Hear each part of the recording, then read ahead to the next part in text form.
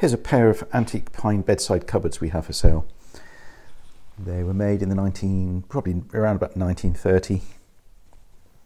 They each have a drawer at the top and then cupboard door below and are sitting on new bun feet which could be removed if you'd like them lowered about or about three three inches or so and then they can just sit straight on the plinth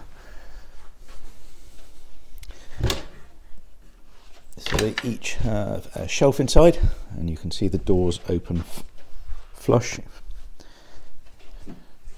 And the drawers are sliding nicely. So they're currently in bare wood, as you can see. They were originally painted.